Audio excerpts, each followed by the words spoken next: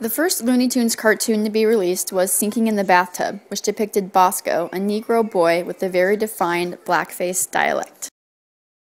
In 1941, All This and Rabbit Stew aired showing a black hunter with big lips, ragged clothing, and a limited vocabulary being outwitted by Bugs Bunny. The public found the character to be racist, and he was reanimated as Elmer Fudd.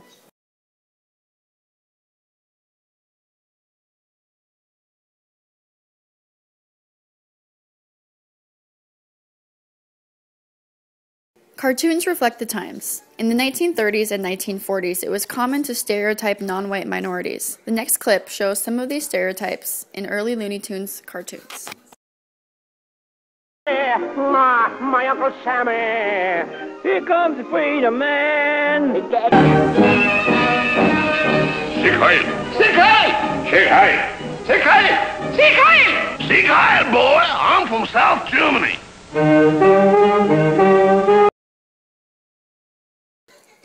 Looney Tunes used propaganda in World War II to rally American society against Axis powers. Next is the clip entitled Tokio Jokio, portraying American ideology toward the Japanese. And I, Yamamoto, will dictate peace terms in the White House.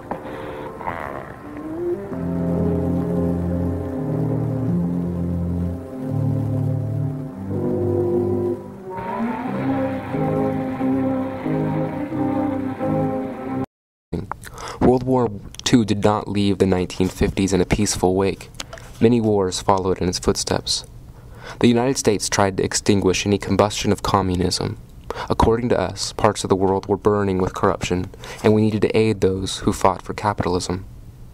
The Korean War put conflict between capitalism and communism into sharp relief by pitting North and South Korea against one another.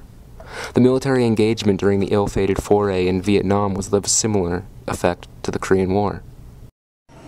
Speedy Gonzales was created in a 1953 cartoon episode called Cat-Tails for Two and lasted up until 1999 when Cartoon Network took over. The Hispanic community welcomed Speedy and found him amusing and clever. Speedy was also created in the prime of the Hispanic immigration into the United States. The next clip shows your, quote, typical Mexican, unquote, Slowpoke Rodriguez. Something I forgot to tell. That's what I wanted to tell you. Slowpoke Rodriguez. He packed a gun. Although Speedy Gonzales was loved by Mexicans and Hispanics worldwide, he was also taken offensively and presented negative implications of Mexicans, such that all wear excessively large sombreros, um, all have white onesies and bandanas, and they all have strong accents. But does uh, Hispanics loving his character make it acceptable to air his episodes? Maybe the issue doesn't lie in the stereotypes, but rather the lack of leadership that comes from the Hispanic community. The media presents very limited images of Latinos, and most of what have not been flatter- flattering.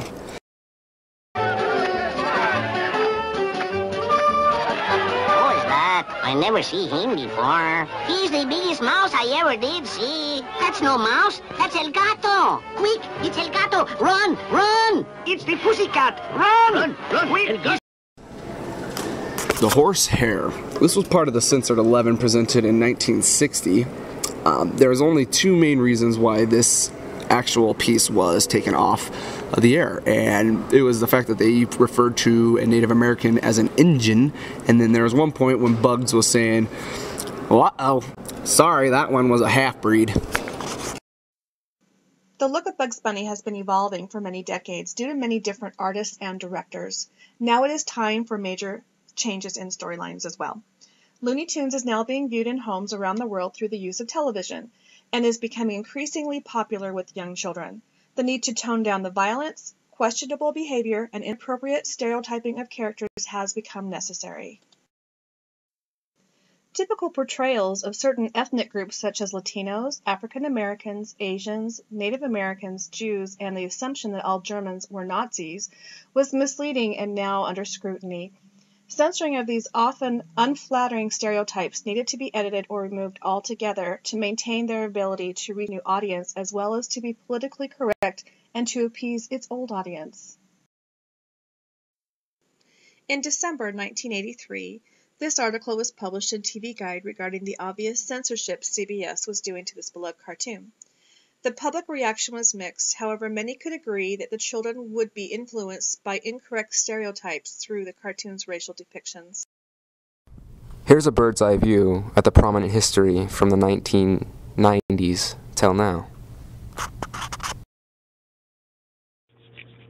By 1990s, the censorship was taking over as libraries expunged their racist imagery from the 20th century cartoons, and a closer review of cartoons was in action with Speedy Gonzales being a point of topic.